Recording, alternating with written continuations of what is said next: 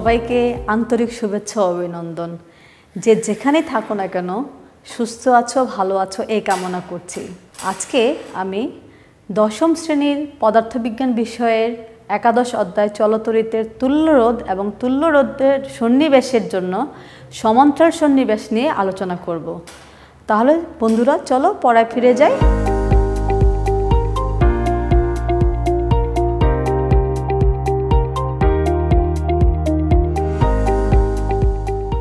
আমরা আগেই জেনেছি যে তুল্যরোধ নির্ণয় করতে হলে বর্তনীতে সন্নিবেশের পরিবর্তে, যে কোনো সন্নিবেশের পরিবর্তে একটি মাত্র রোধ ব্যবহার করতে হবে এবং ফলে বর্তনীর তড়িৎ প্রবাহ বিভব পার্থক্যের কোনো পরিবর্তন ঘটবে না।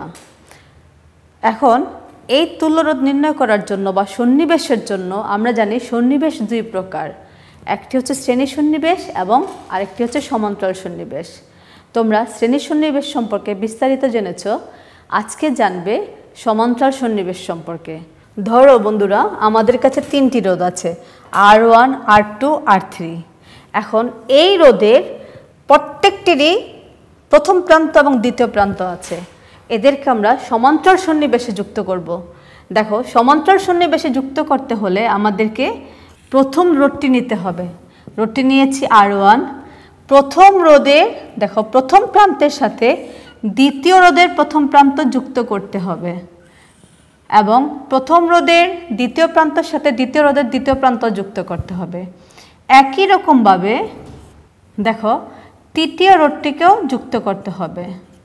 তাহলে, বন্ধুরা, দেখো আর ওয়ান আর টু আর থ্রি তিনটি রোদের প্রথম প্রান্ত যুক্ত হয়েছে একটি নির্দিষ্ট বিন্দু এতে এবং দ্বিতীয় প্রান্ত যুক্ত হয়েছে একটি নির্দিষ্ট বিন্দু বিতে তাহলে বন্ধুরা, এইভাবে যখন আমরা তিনটি রোধকে যুক্ত করব, তখন এই সন্নিবেশটিকে বলা হবে সমান্তরাল সন্নিবেশ। আবার দেখো, প্রতিটি রোধের প্রথম প্রান্ত যুক্ত হয়েছে এ বিন্দুতে এবং দ্বিতীয় প্রান্ত যুক্ত হয়েছে বি বিন্দুতে। এবং এইভাবে আমরা যে সন্নিবেশটি পাবো, সেই সন্নিবেশটি হবে সমান্তরাল সন্নিবেশ। এখন সমান্তরাল সন্নিবেশ তো পেয়েছি। কিন্তু বর্তনী পূর্ণ হয়নি। হ্যাঁ বন্ধুরা বলো তো বর্তনী পূর্ণ করতে হলে কি করতে হবে? হ্যাঁ সবাই বুঝতে পেরেছ। বর্তনী পূর্ণ করতে হলে আমাদেরকে একটি কোষ লাগাতে হবে। এবং কোষের সাথে একটা চাবিও লাগিয়ে দেই। তো বন্ধুরা, বর্তনীটি পূর্ণ হলো এবং বর্তনী থেকে আয় প্রবাহ আমরা পাচ্ছি।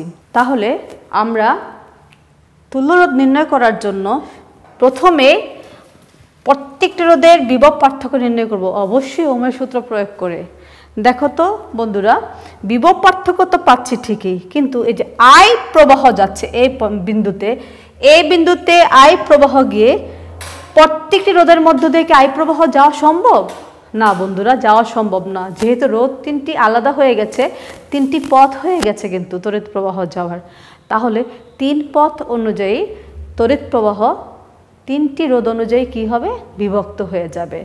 এবং আমরা ধরে নেই প্রথম রোদ দিয়ে যে প্রবাহটুকু যাচ্ছে তার মান আই ওয়ান দ্বিতীয় রোদ থেকে যে প্রবাহ যাচ্ছে তার মান আই টু এবং তৃতীয় রোদ থেকে যে প্রবাহ যাচ্ছে তার মান আই থ্রি এবং তোমরা স্পষ্ট বুঝতে পারছ যেখানে আই সমান সমান I one plus I two plus I three আবার দেখো আই সমান সমান I one plus I two plus I three এটাকে আমরা একটা সমীকরণ আকারে রেখে দেই। এবং আমরা দেখতে পেলাম যে প্রতিটি রোদের তড়িৎ প্রবাহ ভিন্ন হয়ে গেছে। কিন্তু দেখো, প্রতিটি রোদের প্রথম প্রান্ত এ দ্বিতীয় প্রান্ত ভি তার মানে কি? আবার দেখো, প্রতিটি রোদের প্রথম প্রান্ত এ দ্বিতীয় প্রান্ত বি তাহলে প্রতিটি রোদের বিভব পার্থক্য হয়ে যাচ্ছে V A minus V B তাহলে আমরা এই কথা বলতে পারি না যে সমান্তরাল সন্নিবেশে প্রতিটি রোদের তড়িৎ প্রবাহ ভিন্ন, বিভব পার্থক্য সমান। কিন্তু মনে আছে শ্রেণি সন্নিবেশে কী ছিল? ঠিক তার উল্টু। শ্রেণি সন্নিবেশে ছিল প্রতিটি রোদের তড়িৎ প্রবাহ সমান, বিভব পার্থক্য ভিন্ন। আর এখানে পাচ্ছি সমান্তরাল সন্নিবেশে প্রতিটি রোদের তড়িৎ প্রবাহ ভিন্ন, বিভব পার্থক্য সমান। এখন আমরা রোধগুলোর জন্য ওমের সূত্র প্রয়োগ করে পাই। দেখো, প্রথম রোধের ওমের সূত্র। ভি এ মাইনাস ভিবি সমান সমান আই আর ওয়ান তাহলে আই আর ওয়ান আমরা লিখতে পারি? না, আমরা লিখতে পারি না, কারণ আমাদের প্রথম রোধের প্রবাহ কিন্তু আই না। প্রথম রোধের প্রবাহ হচ্ছে আই ওয়ান তাহলে আমরা কি লিখতে পারি বলতো? VA minus VB equal to I one R one সুতরাং আই ওয়ান সমান সমান VA minus VB by R one অনুরূপভাবে দেখো আমরা লিখতে পারব আই টু সমান সমান VA minus VB by R two এবং আই থ্রি সমান সমান VA minus VB by R three আবারও দেখো আই ওয়ান পাচ্ছি VA minus VB by R one I two পাচ্ছি VA minus VB by R two এবং আই থ্রি পাচ্ছি VA minus VB by R three তাহলে প্রত্যেকটা রোধের জন্য যখন আমরা তড়িৎ প্রবাহ পাবো, আমরা কি নিয়মটা শিখলাম? এখান থেকে আরেকটা নিয়ম কিন্তু শিখাচ্ছি। দেখো, যে রোধগুলোর বিভব পার্থক্যকে নিজ নিজ রোদ দিয়ে যদি আমরা ভাগ করি, তাহলে প্রত্যেকটা রোদের কি পাবো? আমরা তড়িৎ প্রবাহ পেয়ে যাব। এখন আমরা এই সমীকরণটিকে দেখো I one I two I three পেয়েছি। সেই মানগুলো আমরা এই সমীকরণটিতে বসাবো। আমরা আই ওয়ানের পেয়েছিলাম VA minus VB by R one R I টুতে পেয়েছিলাম VA minus VB by R two এবং আর থ্রিতে পেয়েছিলাম VA minus VB by R three তাহলে বন্ধুরা, আমরা ভিএ মাইনাস ভিবি কমন নিতে পারি। নিলে পাবো এখানে আই সমান সমান VA minus VB into one by R one one by R two one by R three এটাকে বন্ধুরা দুই দ্বিতীয় সমীকরণ দিয়ে দাও। আবার দেখো আই সমান সমান পেয়ে যাচ্ছি আমরা VA minus VB into one by R one plus one by R two plus one by R three আমরা পেয়ে গেছি। এই সন্নিবেশের পরিবর্তে, দেখো, এই সন্নিবেশের পরিবর্তে আরেকটি রোধ আমরা যুক্ত করব। দেখো আর পি পি মানে হচ্ছে প্যারালাল মানে সমান্তরাল সন্নিবেশ। এখানে আমরা তুল্য রোধ করছি। দেখো এ এবং বি বিন্দুর মাঝে সন্নিবেশের পরিবর্তে আরেকটি রোধ ব্যবহার করছি আর পি এবং শর্ত অনুযায়ী তড়িৎ প্রবাহ বিভব পার্থক্যের কোনো পরিবর্তন ঘটানো যাবে না। আবার দেখো শর্তানুযায়ী তড়িৎ প্রবাহ এবং বিভব পার্থক্যের কোনো পরিবর্তন ঘটানো যাবে না। তাহলে এই আরপি হবে এই রোধগুলোর সমান্তরাল সন্নিবেশের তুল্য রোধ তাহলে আমরা কি দেখতে পেলাম? সমান্তরাল সন্নিবেশের তুল্য রোধকে আরপি দ্বারা প্রকাশ করা হয়। সমান্তরাল সন্নিবেশের তুল্য রোধকে কী দিয়ে প্রকাশ করা হয়? আরপি দিয়ে। এবার বন্ধুরা, আমরা চলে যাব আমাদের এই বর্তনীটির বিভব পার্থক্য এবং তড়িৎ প্রবাহের সমীকরণে, যা আমরা ওমের সূত্রের সাহায্যে লিখতে পারব। দেখো VB equal to I R P তাহলে আই সমান সমান আমরা এরকম লিখতে পারি VA minus VB by RP এখন এই সমীকরণটিকে তুমি তিন নম্বর সমীকরণ দাও। তাহলে একটু খেয়াল করো তো, দুই নম্বর সমীকরণেরও বাম পক্ষ ছিল আই তিন নম্বর সমীকরণেরও বামপক্ষ হয়েছে আই। তাহলে যেহেতু দুটি সমীকরণের বামপক্ষ সমান, অবশ্যই ডান পক্ষ সমান। তাহলে দুই এবং তিন সমীকরণকে আমরা তুলনা করে লিখতে পারি। কি লিখব? দেখো VA minus VB by RP সমান সমান VA minus VB into one by R one plus one by R two plus one by R three এখন আমরা যদি ভিএ মাইনাস বিবিকে বাদ দিই, তা আমরা লিখতে পারব ওয়ান বাই আর পি সমান সমান one by R one one by R two one by R three তাহলে ওয়ান বাই আর পি সমান সমান one by R one plus one by R two plus one by R three এই হচ্ছে আমাদের সমান্তরাল সন্নিবেশের তুল্যরোধের কাঙ্ক্ষিত সমীকরণ রূপ। আবারও দেখো, সমান্তরাল সন্নিবেশের তুল্য রোধের সমীকরণ। এখন আমাদের তো সবসময় তিনটি রোধ থাকবে না। আমাদের অনেকগুলো রোধ থাকতে পারে। তাহলে সেই ক্ষেত্রে আমরা কি লিখব? সেই ক্ষেত্রে আমরা লিখব, যদি এনতম রোধ থাকে ওয়ান বাই আর পি সমান সমান one by R one one by R two one by R three one by R N R এনটা কি? তাহলে এনথম রোধের মান। আর এন হচ্ছে এনতম রোধ, রোধের মান। তাহলে আমরা আজকে সমান্তরাল সন্নিবেশের তুল্য রোধের সমীকরণ কি হতে পারে সেটা আমরা দেখলাম। তো বন্ধুরা, এসো সমান্তরাল সন্নিবেশের জন্য একটি গাণিতিক সমস্যার সমাধান করে ফেলি। হুম। তোমরা চিত্রটি লক্ষ্য করো। এখানে দুটি রোধ সমান্তরাল সন্নিবেশে যুক্ত আছে এবং একটি কোষ যুক্ত আছে যার তড়িৎচালক শক্তি হচ্ছে থার্টি সিক্স ভোল্ট তাহলে সে অনুযায়ী, বন্ধুরা, প্রশ্নগুলো হচ্ছে, তো বর্তনীর তুল্য রোধ কত? বর্তনীর তড়িৎ প্রবাহ কত? এবং প্রতিটি রোধের তড়িৎ প্রবাহ নির্ণয় করো। তো চলো, বন্ধুরা, আমরা সমস্যাটি সমাধান করে ফেলি। এখানে দেয়া আছে, প্রথম রোধ R one six ohm R two দ্বিতীয় রোধ ফোর ওম। তাহলে কোষের তরিচালক শক্তি ই থার্টি সিক্স ভোল্ট এবং প্রথম প্রশ্নটি, বর্তনের তুল্যরোধ, যেহেতু সমান্তরাল সন্নিবেশ, তুল্যরোধ আর পি হোয়াট বর্তনের প্রবাহ আই হোয়াট এবং রোদ দুটির তড়িৎ প্রবাহ হোয়াট এখন আমরা চলে যাব প্রথমে ক প্রশ্নের সমাধান করতে। আমরা জানি, আমাদের সন্নিবেশটি কি?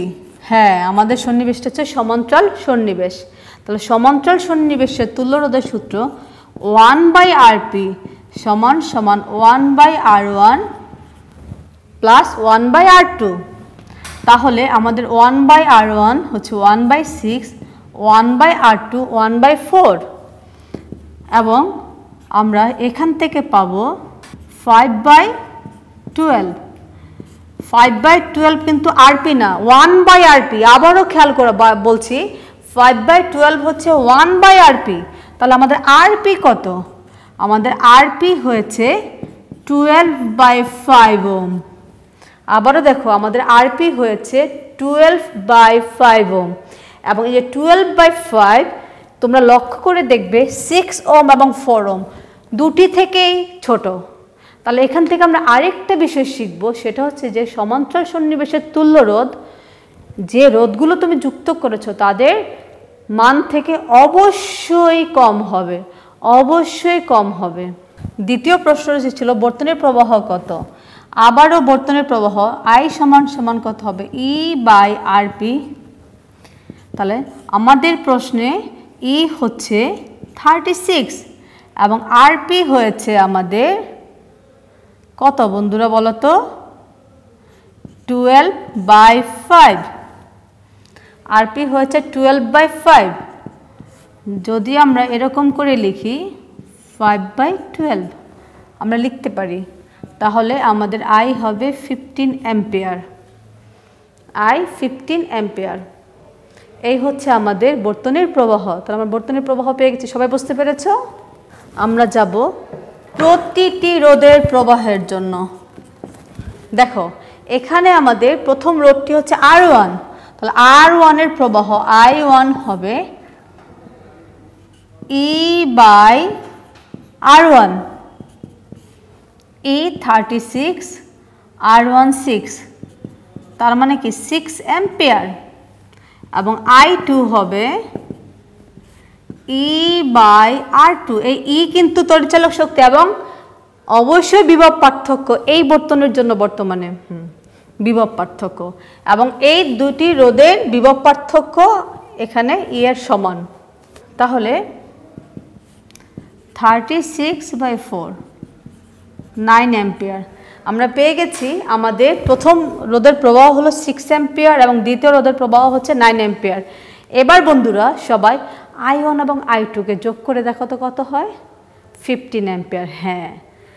অবশ্যই পৃথক পৃথক প্রবাহগুলোর যখন আমরা সমষ্টি নিব, সেটি বর্তনের প্রবাহের সমান হবে।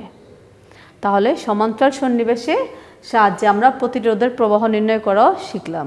শিক্ষার্থী বন্ধুরা, এবার কিছু বহু নির্বাচনের অভিক্ষা বা কুইজ যাচাই করে নেই। দেখো, প্রথম প্রশ্নটি হচ্ছে, শ্রেণি সন্নিবেশের তুল্যরোধ কি হবে? শ্রেণি সন্নিবেশের তুল্যরোধ কি হবে? বৃদ্ধি পায় ক্ষতে হ্রাস পায় গত অপরিবর্তিত থাকে আর ঘ হচ্ছে যে কোনো মানের। আবার দেখো, শ্রেণি সন্নিবেশের তুল্য রোধ কি হবে? কতে বৃদ্ধি পায় ক্ষতে হ্রাস পায় গ অপরিবর্তিত হয় আর ঘ হচ্ছে যে কোনো মানের। তোমরা অবশ্যই বুঝতে পারছ, শ্রেণি সন্নিবেশের তুল্য রোধ বৃদ্ধি পায়। এবার দুই নম্বর প্রশ্নটি দেখো, সমান্তরাল সন্নিবেশে প্রতিটি রোধের বিভব পার্থক্য হবে ভিন্ন, সমান, যে কোনো মানের বা সবগুলোই সঠিক। আবার দেখো, সমান্তরাল সন্নিবেশে প্রতিটি রোধের বিভব পার্থক্য হবে ভিন্ন, সমান যে কোনো মানের সবগুলো।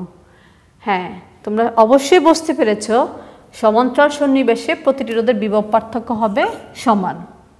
এবার বর্তনীটি লক্ষ্য করো। দেখো, চিত্রে আর এবং আর দুটি রোধ যুক্ত আছে। তাহলে তোমার প্রশ্ন হচ্ছে, বর্তনীটির তুল্য রোধ কত? বর্তনীটির তুল্য রোধ কত?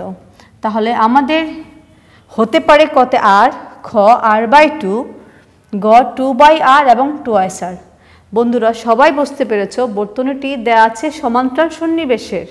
তো সমান্তরাল সন্নিবেশের যেহেতু, আমাদের বর্তনীটির তুল্য রোধ হয়ে যাবে আর বাই টু এইভাবে শিক্ষার্থী বন্ধুরা, আমাদের বইয়ে তুল্যরোধ সম্পর্কে যে আলোচনা আছে বা রোদের সন্নিবেশ সম্পর্কে যে আলোচনা আছে, সেখান থেকে দেখে এ সম্পর্কে যে বিভিন্ন গুরুত্বপূর্ণ অভিক্ষাগুলো আছে, সে অভিক্ষাগুলো শিখে ফেলবে। এখন আমরা একটু স্মরণ করছি, আজকের ক্লাসে আমরা কি কি শিখলাম?